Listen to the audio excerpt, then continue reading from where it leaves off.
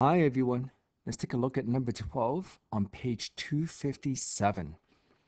An irrigation channel is constructed by bending a sheet of metal that is 3 meters wide, as shown in the diagram. What angle, theta, will maximize the cross-sectional area and thus the capacity of the channel? Step number 1. Update this diagram. So if you draw a line going across, what you discover is the following. Based on the given, this is going to be 1 meter. So you can make a 90 degree angle. This is still going to be one meter. And of course, this could be the height. So the let statement, you can write down let h be the height in meters. Likewise, you can let x and x be this length right here. So again, we'll divide this into three parts, just like that. Now, what is the goal? The goal is to maximize the cross-sectional area. So what that really means is you can write down the word maximize. A stands for the area, which is basically this area right here. So if you think about the area of a trapezoid, and I'll kind of put this on the side for you in a different color. So normally, if you're looking at a shape that looks like that, and I'll call this, I don't know, A and B, let's say this is going to be H, you would say that the area is basically the average, which is a plus b divided by 2 times h.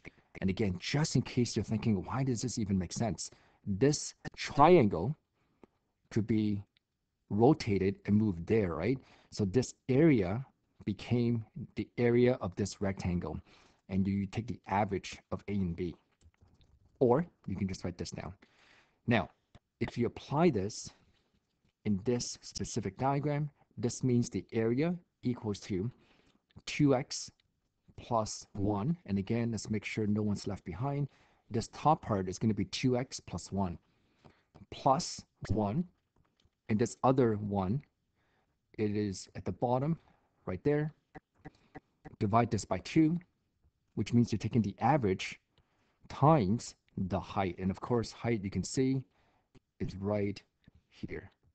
Oops, let's use a different color.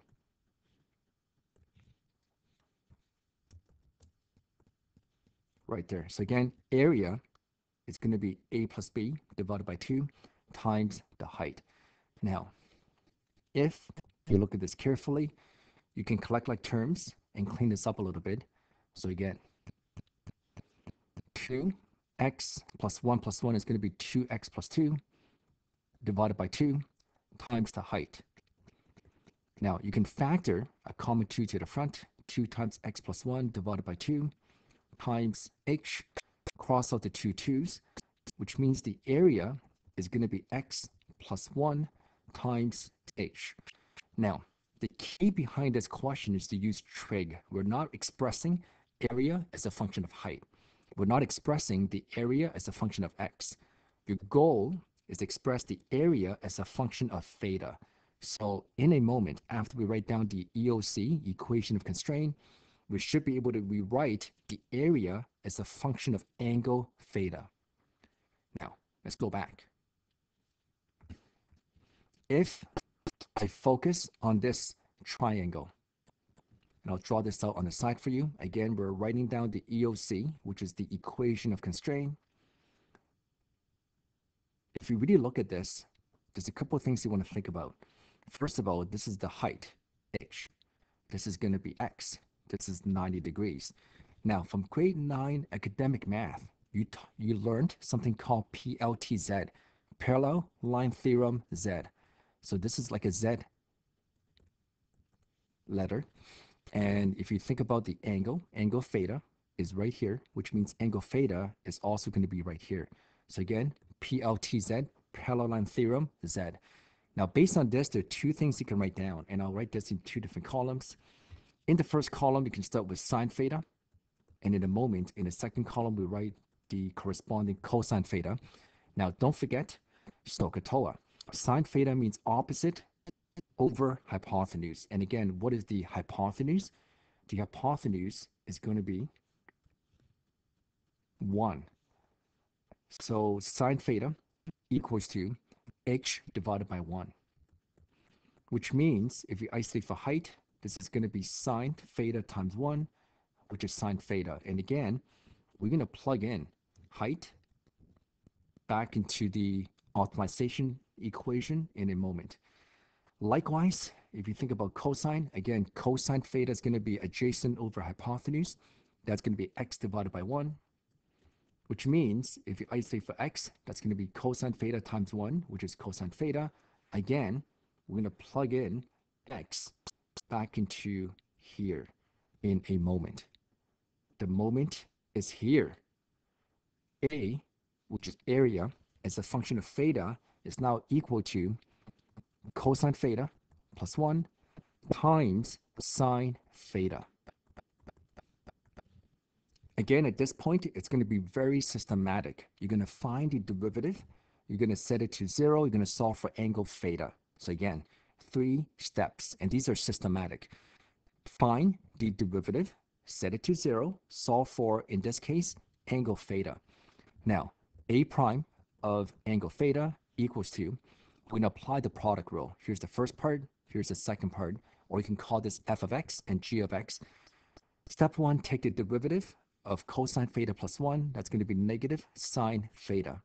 Step 2, multiply by the second function, sine theta, plus copy the first function, cosine theta plus 1, times the derivative of the second function, and the derivative of sine theta is going to be cosine theta. Once you find the derivative, you're going to set this to 0, and the goal is to solve for theta. So if you collect like terms, negative sine theta times sine theta is going to be negative sine square theta. If you expand the second part, again, I'll draw some arrows for you. Cosine theta times cosine theta is going to be cosine square theta plus cosine theta. To solve for theta, you want to express this in terms of sine theta or in terms of cosine theta. And by inspection, you can tell that it's better to express everything in terms of cosine theta. So sine squared theta is 1 minus cos squared theta. The rest you can copy, plus cos squared theta, plus cos theta. Again, 0 equals to negative 1, plus cos squared theta, plus cos squared theta, square plus cos theta. So this equals to 2 cos squared theta plus cos theta minus 1. So this is complex factoring. And again, this equals to the product of 2 cos squared theta means 2 cosine theta times cosine theta. If we think about the factors of negative 1, that will give you a sum of 1. It's going to be 2 minus 1. So it's going to be 2 cosine theta minus 1 times cosine theta plus 1. And again, I'm going to divide this into two different columns and solve for angle theta.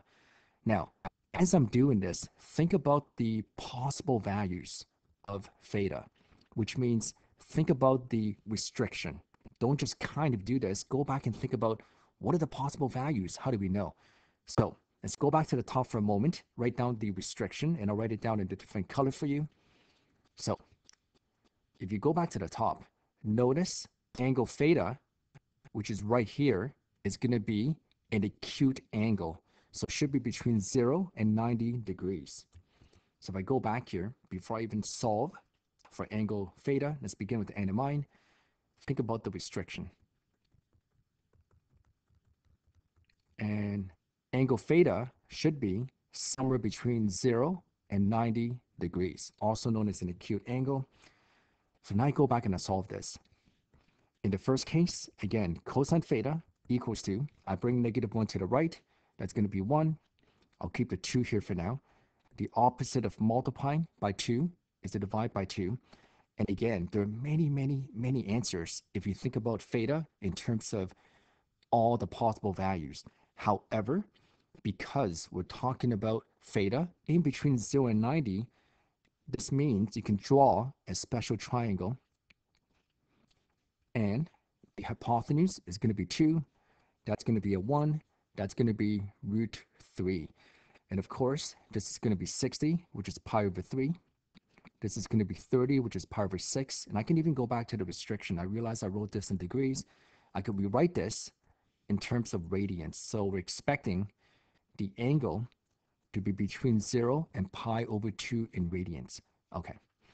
Now, if I continue here, theta equals to, and again, I'm looking for the inverse cosine of 1 over 2. And that's going to be pi divided by 3. So again, if you're thinking, well, what about all these other cases in the other quadrants? We're looking for the answer that is in between 0 and pi over 2. So we're not looking at those additional answers, which is not applicable in this example. Likewise, in the second column, if I solve for angle theta, again, cosine theta is going to be negative 1. Theta equals to pi. Now again, in case you're thinking, how do I know this? I am thinking about the graph. So if I graph this in my mind, which I'm drawing for you on the whiteboard, y equals to cosine theta or cosine x, and this is where cosine x or cosine theta is going to be negative 1. But again, this is going to be omitted. It's going to be rejected. And why is that? Because angle theta must be between 0 and pi over 2. Now, don't forget the final statement. You could write down something along the lines of therefore, angle theta equals to pi over 3 will maximize the cross-sectional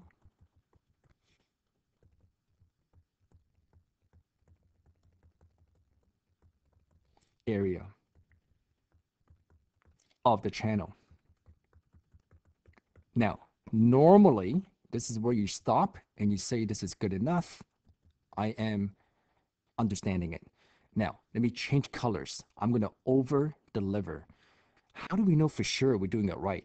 So back to curve sketching, you can go through something called the second derivative test. Again, I'm not asking you to show this every single time, but I am showing it to you to make sure that you can double check your work and confirm the answer you found, angle theta, which equals to pi over 3, it's really the maximum and not the minimum.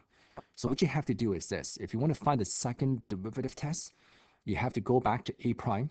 And again, a prime equals to negative sine squared theta plus cos squared theta plus cosine theta.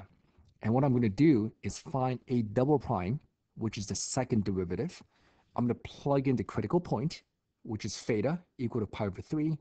And if the answer is going to be negative, this means it's concave down, which means I have double checked and confirm that the answer is a maximum. Now, press pause, find a double prime. When you're done and you press play again, I'll be here.